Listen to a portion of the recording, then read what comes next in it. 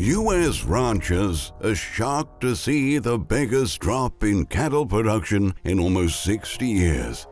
Costs are shooting up as well, with everything from livestock to supplies to feed and fuels facing increases of more than 50%.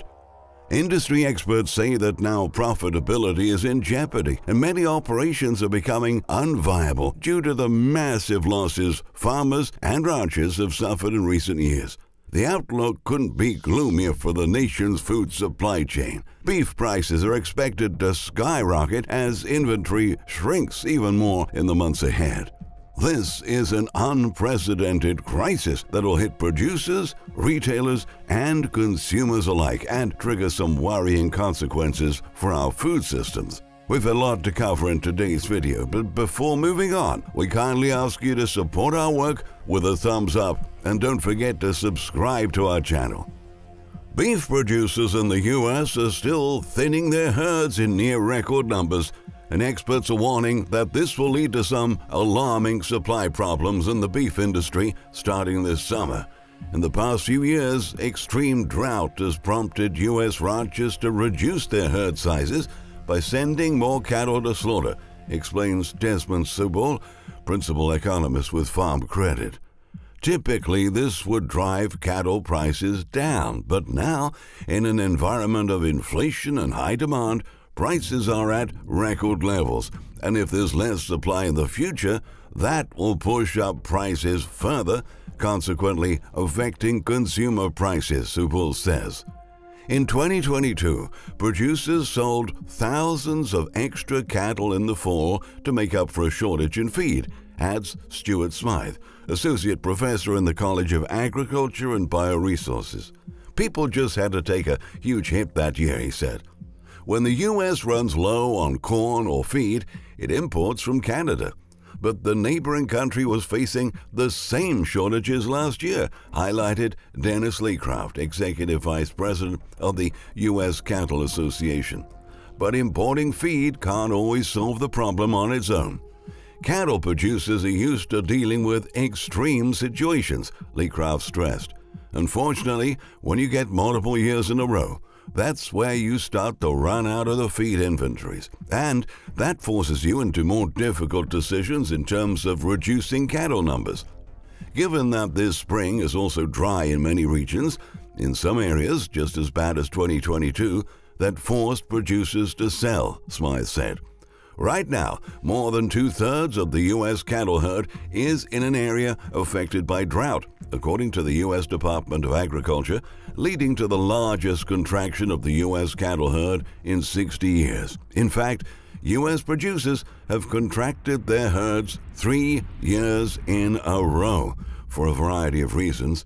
And while this means more beef was being produced in the short term, it meant that supply would eventually go down as herds got smaller and producers sent fewer cattle to slaughter while they tried to rebuild their herds. Although it is normal for production to fluctuate from year to year, this time something is different, says Subel. In central North Dakota, for example, the 2022 drought reached disastrous levels, wreaking havoc on farmers, ranchers, and their land. One such rancher was Shane Anderson of Towner, who had been ranching on his family land for nearly 20 years, building his own herd of commercial cattle, only to be forced to scale back his herd. It was a multitude of things, but just knowing in the back of my mind that we had not had any moisture in the spring, I didn't want to get to a place where I was trying to move bears in the middle of summer, Anderson says, of making the decision to sell cattle last year. In an average year, his ranch runs 300 to 350 head. During 2022's drought, he sold over 100 heads. When we were in the middle of the breeding season, it looked like our hay crop was already going to be adversely affected. I felt better making the decisions to move that many animals, knowing that if it started to rain, I would be able to graze more acres later or do something with that grass, he revealed. If I didn't think this through, then every decision I made from there on out would probably be a knee jerk reaction and maybe wouldn't be the best option. Just like Anderson, many had to make tough decisions due to less lessened forage, pastures, and rangeland. I'm definitely noticing an increase in dispersals coming into the bred cow sales this year, expose Kiernan Brandt, SDSU Extension Cow Calf Field Specialist. You can definitely tell that the increase in feed prices is driving some folks to bring some additional bred cows to sale. I think a lot of guys, especially on the western part of the state, are pretty quick to pull that trigger early in the year and say, We're dry. We're going to make cuts early, Brandt says. By now, hundreds of ranchers just did full dispersal of everything over eight years old, he notes. The same concerns beef producers faced in the past couple of years are likely to linger for 2023. The year following a drought year can be tough for forage production for grazing, even with normal precipitation, explains Jerry Volesky, Nebraska Extension Range and Forage Specialist. The reasons are most likely associated with the reduced root and rhizome growth, formation of new buds, and overall energy reserve status of grazing plants, he says. In Kansas, Pratt Livestock Assistant Manager Steve Stratford says that everybody is concerned about what will happen this summer. There's no hay left, no pasture coming, unless we get rain. That plus inflation and the high cost of inputs right now, expenses are just crazy, and we don't know what to do. It's just downright hard to find any hay, Stratford emphasized. The hay pipeline from northern and eastern regions where they did have some rain last year has been used up. There are no local supplies left. There is nothing to bring in.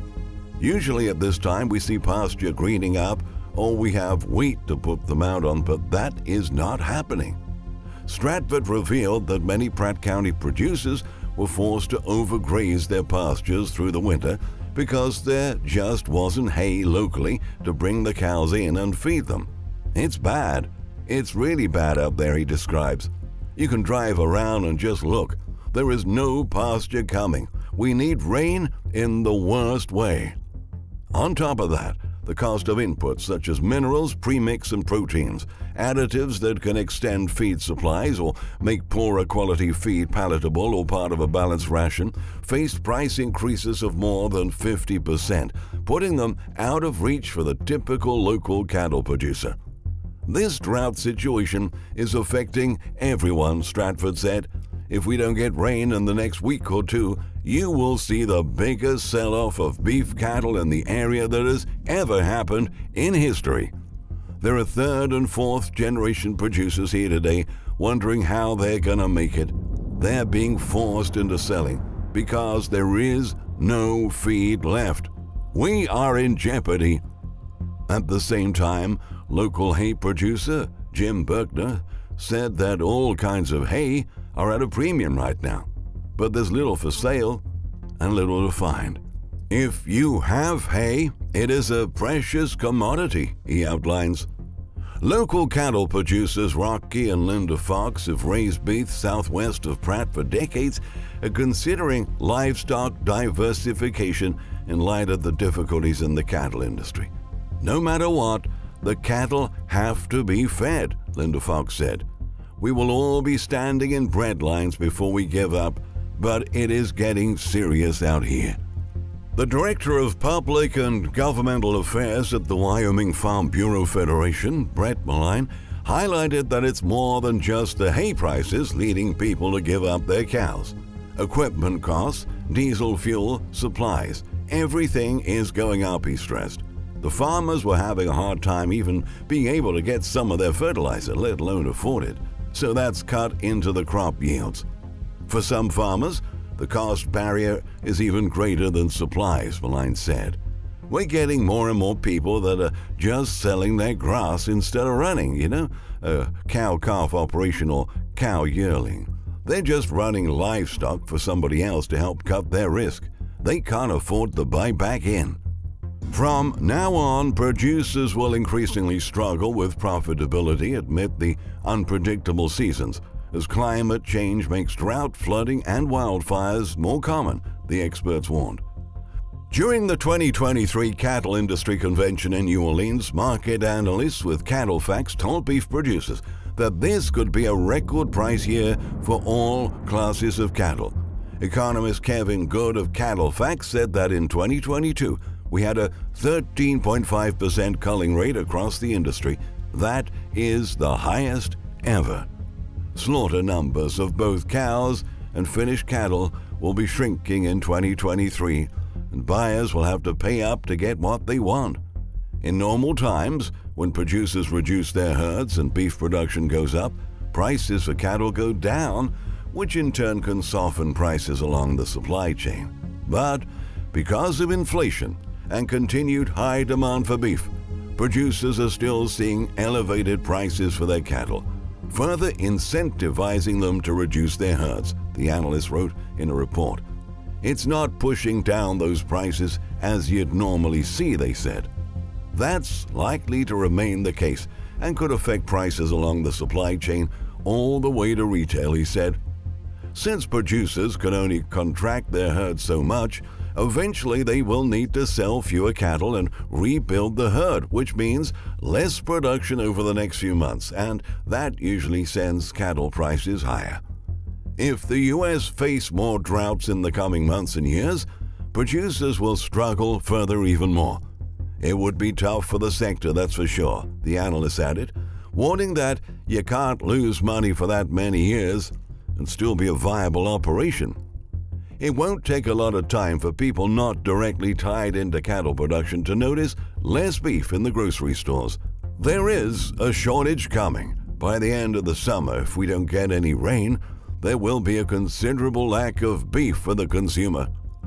The imbalances between supply and demand are only growing larger. In fact, last year, we had the highest per capita U.S. beef consumption in 12 years at 58 pounds. Still, in the face of that supply, we also had record retail beef prices at $7.35 per pound. You can expect to pay way more for beef for the rest of the year and well into 2024. The number of beef cows, which amounts to about a third of all cattle and calves in the U.S., remains at the smallest count since 1963. This crisis could literally break our food systems and spark shortages that would persist for way longer than anyone could ever imagine. Our food supply chains are already in shambles, and any new disruption has the potential to trigger a cascade of failures that would send not only ranchers but retailers and consumers over the edge. This will ultimately affect all of us and effectively transform beef into a luxury item that only a very selected group of people will have access to. Unfortunately, all we can do is hope and pray that the drought eases and more rain comes along. Until then, make sure you stock up on your favorite meats before prices spiral from current levels. Thank you for watching.